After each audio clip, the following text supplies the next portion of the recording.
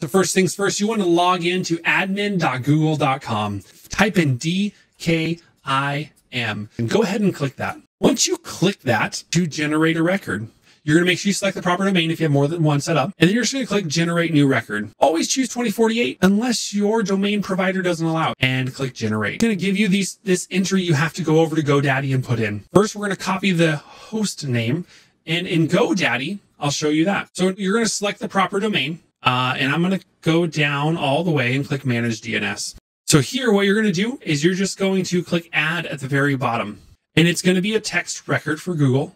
And the host is what we just copied. So we're going to paste that in from right here. Then we're going to copy this and we're going to go back and paste that into the value.